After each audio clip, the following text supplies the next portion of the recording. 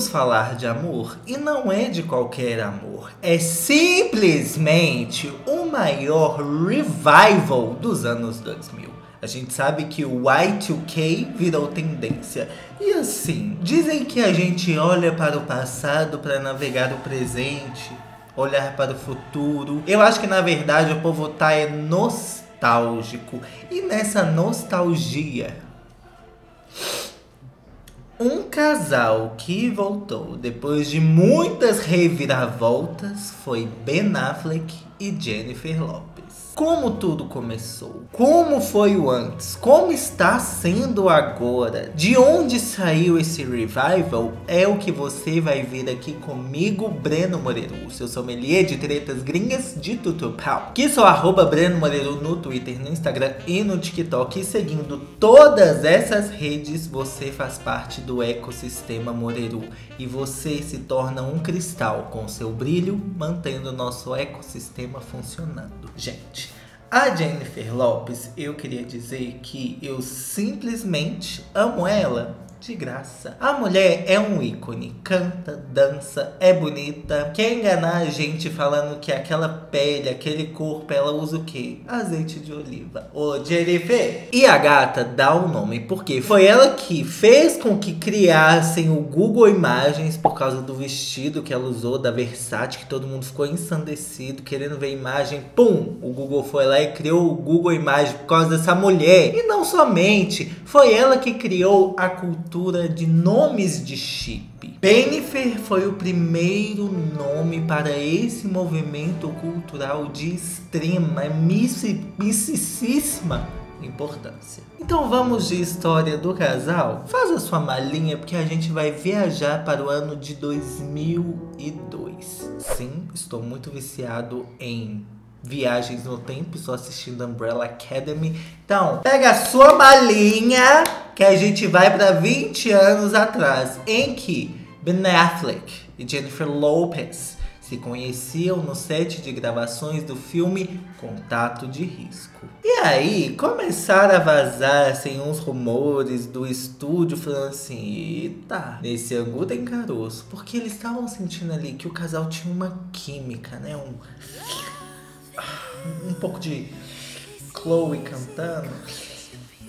E essa química nas telas estava transparecendo, né? Pra quem tava ali ao redor, falando: Eita, vocês querem um quarto? E aí, no dia 24 de julho de 2002, aniversário de Jennifer Lopes, Leonina. Como agradar uma? Fazendo apenas uma festa de aniversário surpresa para ela se sentir querida, amada pelo povão. Digamos que foi nessa festa que teve o primeiro momento do casal. Trocaram carícias, umas bitocas, umas cochichadas aqui, ó, uma mão na nuca. Todo mundo, né, que tava lá na festa ficou assim, hum, eita Tá, só que, gente, a Jennifer Lopez estava casada. E esse era o segundo marido, Chris Judge. Feio, coitado. Pé do Ben Affleck, ele ficou feio. E aí, menina, dois dias depois, 26 de julho, a Jennifer Lopez falou assim: Vou separar? Ah, eu vou separar. Ô, Jennifer. Só que esse negócio da festa dela não tinha imagens para provar. E assim, a gente, público, a gente gosta de ver imagens para falar, eita, aconteceu mesmo. Pois bem, não demorou, a revista People pegou eles no flagra. E é importante destacar que estamos falando do ano de 2002. A década dos anos 2000 foi assim, o auge dos paparazzi. Eles eram fogo no zoio e queria tirar foto de tudo e de todos. A revista People falou assim: Olha, vou te pagar 75 mil e eu quero uma foto desses dois beijando. E não deu outra. Porque eles foram flagrados dando um beijaço num Bentley. Nossa, um beijo chique, né? Com categoria. E aí, gente, depois disso, não precisava mais esconder o romance, né? Bennifer se tornou realidade. Ben e Jennifer. Bennifer. Esse chip não só se tornou realidade, mas abriu caminho para Brangelina, Hobstein, Kimmy. Eu adoro fazer nome de chip, tá bom? Muito obrigado, J-Lo. E aí, gente, esse casal virou a sensação, né? Uma latina e um americano, um gringo. Ela é de Juicy Couture. Ele aqui de padrão, né? Anos 2000.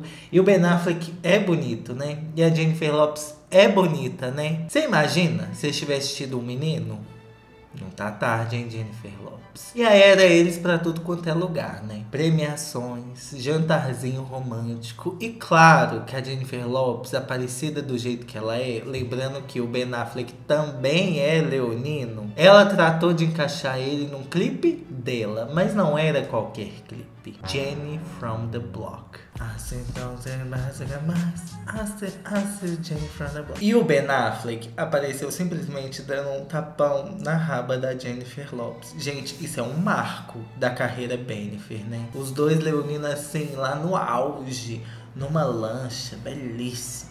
E aí, o que começou no início de 2002, no final do ano, eles já estavam noivos. Esse anel, detalhe que foi avaliado em 2 milhões e meio de dólares. 2 milhões e meio já é muito hoje. Você imagina em 2002. Eu amei o anel, que ele é meio rosadinho. Nossa, uma pedrona, uma chulapa de uma pedra. E assim, o pedido de noivado não foi qualquer coisa, não. Isso quem contou foi a própria Jennifer, tá? Que o Ben Affleck, um homem muito romântico, né? Fogo com fogo, leão com leão. A chama deles dois ardendo para sempre. É só assim cruzar o olhar. Esse homem, para fazer o pedido, simplesmente foi na casa da mãe da J-Lo e montou uma cena de cinema. Espalhou lençol para tudo quanto é lugar, flores, velas. E não somente colocou um I'm Glad tocando no fundo, música da J-Lo. Ele montou um oásis do amor e falou assim: J-Lo, quer ser minha noiva? E ela disse: Yeah, I'm still, I'm still.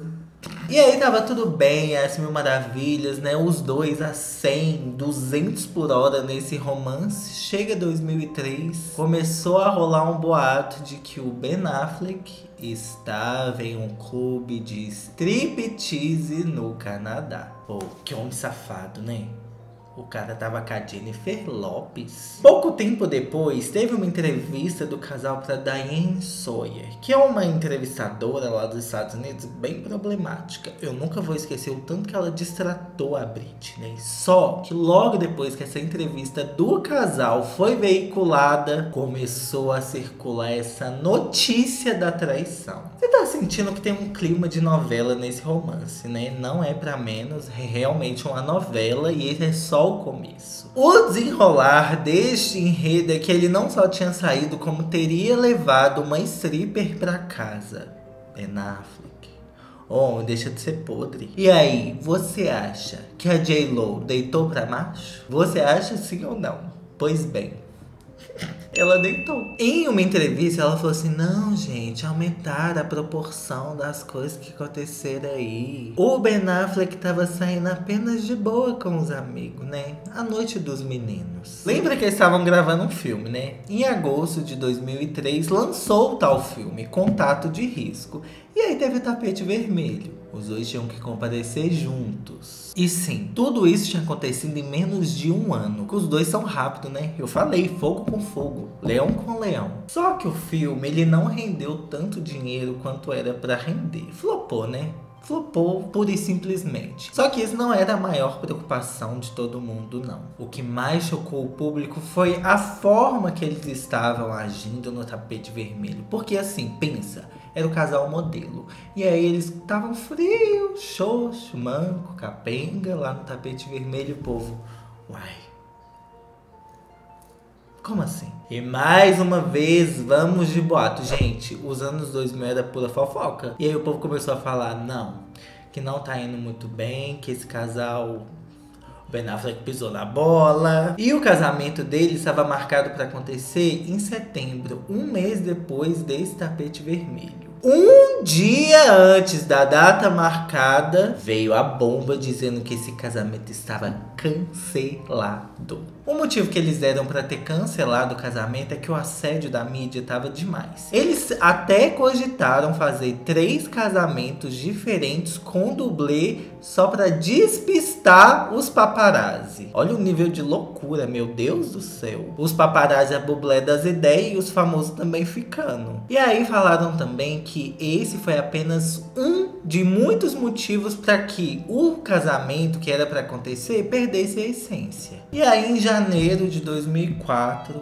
foi publicado que Ben Affleck e Jennifer Lopez terminaram. A Jennifer Lopez, a gente percebeu que as coisas com ela é rápida, né? Namorou, noivou, diz que vai casar, depois não casa. E ela superou essa coisa com Ben Affleck, de certa forma, muito bem muito rápido, porque em junho de 2004, cinco meses depois que ela terminou com o Ben Affleck, ela casou com Mark Anthony, que era um amigo dela já de longa data. E aí o tempo passou, eles tiveram um casal de gêmeos, Amy e Max Muniz, em 2008. E aí esse casamento deles durou muito tempo, durou até 2014. Fazendo as contas, são 10 anos de relacionamento. Eu não acho Mark Anthony bonito, mas eles formam uma família bonita, né? O filho da Jennifer Lopes é igualzinho o Rico, de Hannah Montana. A filha dela, muito rebeldezinha, gosto. Ela tem um cabelo azul, todo dia ela tá mudando de cabelo. Enquanto isso, o Ben Affleck já estava também dando os corre dele. Em outubro de 2004, outra Jennifer entrou na vida dele, a Jennifer Garner. Sim, Jenna Rink de De Repente 30. A Electra, eu sou fascinado com essa mulher. E o Ben Affleck tinha que lamber o chão por onde ela passa.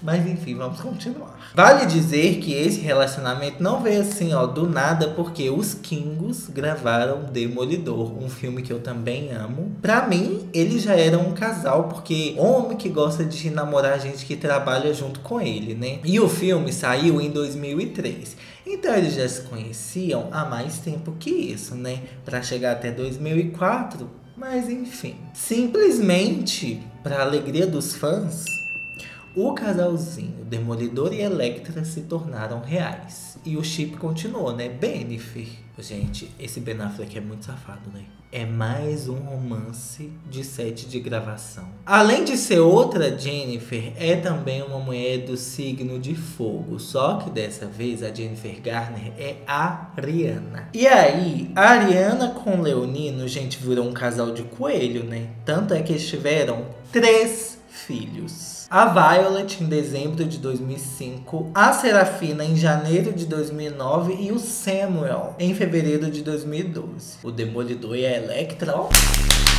Pra mim, eles eram um casal perfeito. Desculpa, J-Lo, mas eu também era muito fã desse casal. E 11 anos depois, quando tudo parecia bem, rolou o escândalo da empregada. Gente, como safado. Isso foi em 2015, quando milhares de revistas começaram a falar que ele estava tendo um caso com a babá. Claro que eu fiquei destruído no chão, porque ela não merece isso. A história que circulou na época é que essa babá foi contratada para cuidar das crianças durante as férias do casal. E aí, quando a Jennifer descobriu a traição, simplesmente, ó, tchau babá. Só que o Ben e a babá continuaram se encontrando. E aí o safado teve a pachorra de negar que não, não, a gente não tava tendo um caso não e teve flagra dos dois. Ô, gente, o Ben Affleck é tão tinhoso que a People soltou na época que ele não só estava abrigando a babá em um hotel, com direito a contas pagas, inclusive. O hotel era o Bel Air, que fica em Los Angeles, numa área muito nobre da cidade. E aí, claro que pode acrescentar aí mais uma separação para a carreira dele, também por traição. E aí, gente, durante os anos que se seguiram, J-Lo e Ben Affleck sempre se trataram, se referiram um ao outro com muito carinho e respeito. A J-Lo, inclusive, passou um grande pano para esse homem, falando que o que acabou com o relacionamento deles, na verdade, foi o assédio da imprensa. Que não saía do pé deles, que não dava liberdade, pipipi, popopó. E em 2014, a J-Lo lança um livro chamado True Love. Gente, eu amei essa capa do livro bem revista da Avon. Amei muito de verdade. E aí ela falou sobre o período assim turbulento entre anunciar a separação do Ben Affleck e casar com Mark Anthony. E aí eu gostaria de fazer uma citação aqui do livro. Busquei conforto em outra pessoa, tentei encontrar alguém que pudesse me fazer sentir amada e querida na minha hora, hora, hora mais solitária. Mark voltou à minha vida três dias depois que eu deveria estar no dizendo sim para outra pessoa. I'm still, I'm still Jenny from the block. Sim, eu amo essa música, ponto final. Nesse tempo de solteira, a J-Lo não dormiu no ponto. Ela pegou o Casper Smart, gente, dançarino.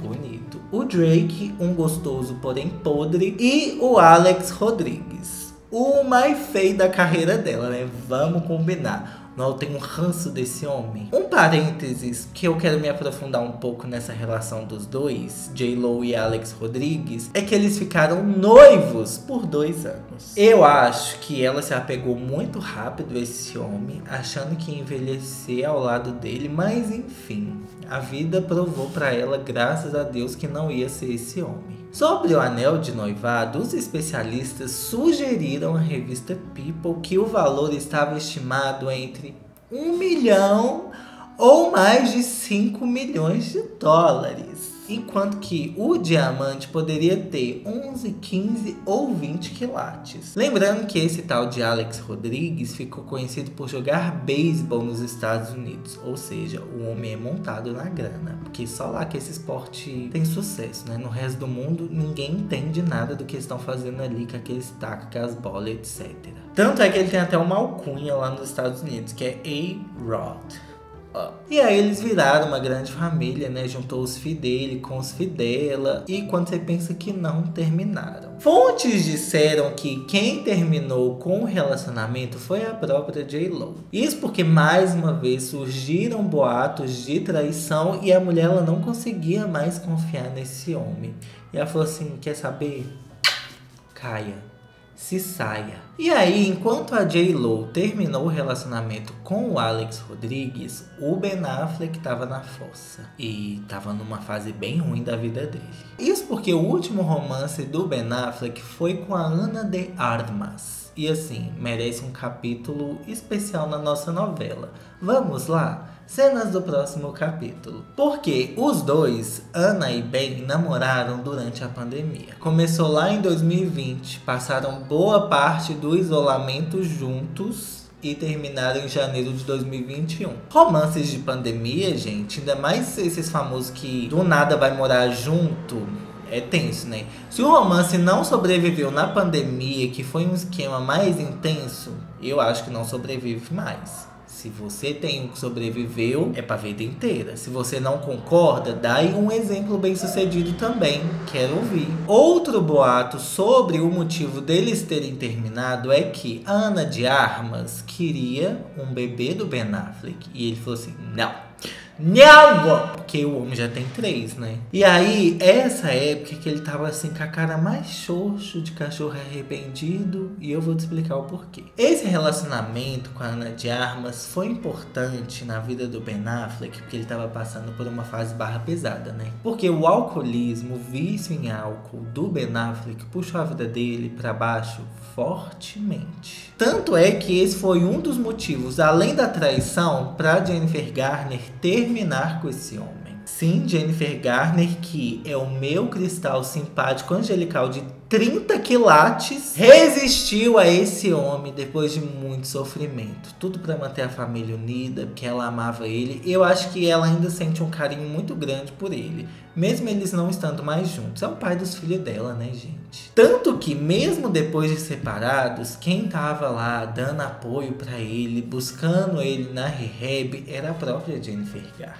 Vide essa foto aqui de 2018, uma vibe tensa dentro do carro. Já desse parênteses, vamos voltar a Ana de Armas, porque uma fonte disse o seguinte, abre aspas. Desde que Ana entrou na vida de Ben, ficar sóbrio se tornou mais fácil para ele. Ela entrou na vida dele e deu a ele tudo o que ele quer e precisa em uma parceira. Ele está muito satisfeito com a Ana e não está procurando mais outros métodos de enfrentamento ao alcoolismo. Ela tem uma personalidade cheia de vida e é uma atriz muito talentosa. Sim, ela vai fazer a Marilyn. Ela é muito solidária e não faz festas ou faz do álcool uma grande parte de sua vida. Não é o que eles fazem como um casal ou que seja parte de seu relacionamento.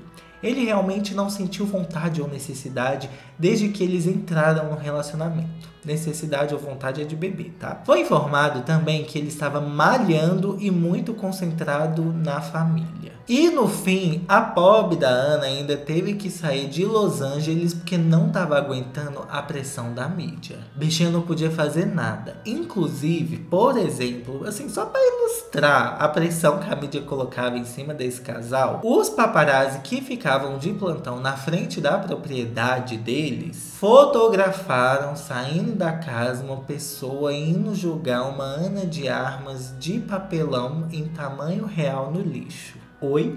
E aí, gente, o mundo não dá voltas. Ele capota e vamos de Bennifer 2.0. Eis que Ben Affleck e J-Lo foram vistos juntos numa situação bem curiosa que eu inclusive preciso citar aspas aqui. O pessoal da segurança o pegava em um local próximo e o deixava em casa depois de passar algumas horas na casa dela, disse uma fonte. Muita gente rebatiam as ideias de que eles estavam juntos de novo, dizendo que eles eram somente bons amigos e nada mais além disso. E aí depois eles foram vistos juntos em Miami e os fãs mais atentos repararam num detalhe genial. Ben Affleck estava usando o mesmo relógio que ele aparece no clipe de Jenny from the Block. E aí, em maio de 2021, eles fizeram uma viagem para o estado de Montana. Sim, a cidade natal de Hannah Montana. Abre aspas. Eles realmente se importam um com o outro e continuaram exatamente de onde pararam. Disse uma fonte ao canal e sobre o casal. E aí, junho de 2021, veio finalmente o flagra do beijo dos dois. E esse beijo aconteceu no Nobu, né? Sempre no Nobu, o restaurante dos famosos de Los Angeles. E aí, de novo no aniversário dela, 24 de julho, já não dava mais para esconder porque ela passou o aniversário em uma lancha e aí saiu foto dos dois muito no chameguinhos, ela de biquíni, ele com a mão no rabão dela, de novo, gente, repetindo a mesma cena de Jenny from the Block. Claro que essa notícia foi um frisson e teve gente simplesmente vivendo por esse romance resgatado do passado. Tanto que ela foi na Ellen dar uma entrevista, toda apaixonadinha. A Ellen não estava se segurando para saber como que foi o reencontro desse casal. Essa entrevista aconteceu no dia 9 de fevereiro de 2022. E em abril eles ficaram noivos. Sim, de novo.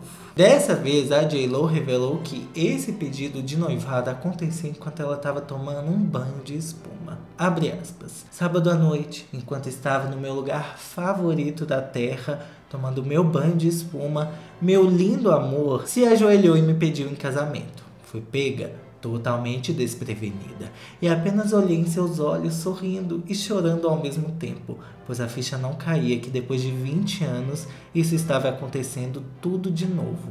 Eu estava literalmente sem palavras. E ele falou: Isso é um sim? Eu disse sim, claro. Isso é claro que é um sim. Dessa vez teve casamento. E foi um casamento muito mais íntimo do que eles planejaram lá no passado. Ao invés de três cerimônias fake, a gata simplesmente brilhou com três vestidos de noiva diferentes. O primeiro casamento deles aconteceu em Las Vegas. Ela postou no Instagram, deixou todo mundo alvoroçado e, segundo ela, abre aspas. Ontem à noite voamos para Las Vegas. Ficamos na fila para obter uma licença de casamento com outros quatro casais, todos fazendo a mesma viagem para a capital mundial do casamento. Atrás de nós, dois homens deram as mãos e se abraçaram. À nossa frente, um casal que fez uma viagem de três horas de Victorville no segundo aniversário de sua filha todos nós desejando a mesma coisa, para que o mundo nos reconhecesse como parceiros e declarasse nosso amor ao mundo, através do antigo e símbolo quase universal do casamento. E aí eles trocaram os votos e também as alianças que eles querem usar pro resto da vida. Gente, as fotos desse casamento, que fofura, o tanto que o Ben Affleck é bonito. E eu amei o blazer dele branco, ela de noivinha, bem clichê, de véuzinho.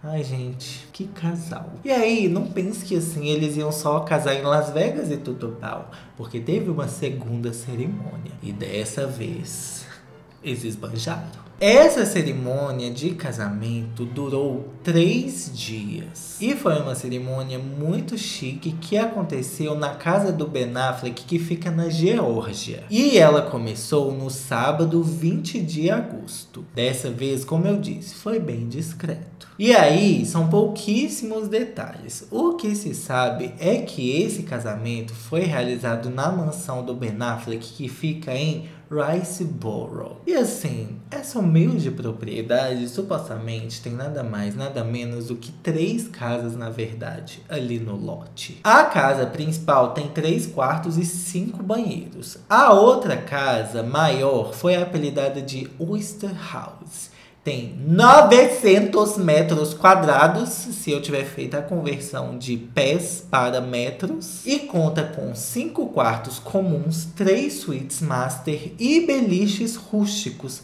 para os hóspedes mais jovens. E aí, essa cerimônia foi celebrada na companhia de amigos e familiares próximos. Só que o que deixou todo mundo com o queixo lá no chão, de boca aberta, foi a entrada da J-Lo que estava simplesmente. A mulher já é bonita. Você imagina ela com um vestido chique, bem feito, bem costurado, bem desenhado. Se você tiver de pé, senta porque vale a pena para não cair duro no chão. O vestido foi Ralph Lauren. Gente, o croqui já estava maravilhoso e como que o croqui ficou a cara dela, né? Passado. O vestido eu achei muito chique porque aqui ele parece uma camisetinha, aí tem frufru, um véu grosso, concentrado e a cauda desse vestido, gente. Meu Deus do céu! A maquiagem impecável quem maquiou ela foi o Chris Appleton, que maquia a Kika também, tudo pau. Ela também usou outros dois vestidos, que deve ser lá para recepcionar os convidados, jantar e etc. O outro vestido foi esse mais justo, com umas pedradinhas bordado aqui no decote. Maravilhoso. E o véu era um capuz e não ficou cafona, caricato não. Porque é a J-Lo, né? É a Jenny from the Block. Ela estava belíssima. E eu acho que para tirar foto, ela usou um outro vestido, que é um vestido também justo, todo bordado com colares de pérola. Ela no balanço. Gente, ô mulher que tem bom gosto, ô Ben Affleck que é sortudo. E assim a nossa novela Bennifer. Voltas e reviravoltas chega ao fim e eu espero que esse casal seja feliz para sempre. Continue assim, lindos, lindos, apaixonados. E aí eu queria saber de você, viu, Cristal? Gostasse do desfecho desse casal? Você imaginava que eles iam voltar depois de tanto tempo assim? Eu não imaginava. Quando eu fiquei sabendo, eu simplesmente pirei. E eu quero que você mande esse vídeo para todo mundo que eu quero o nosso ecossistema crescendo. Muito obrigado pela sua companhia e te espero no próximo vídeo, neném.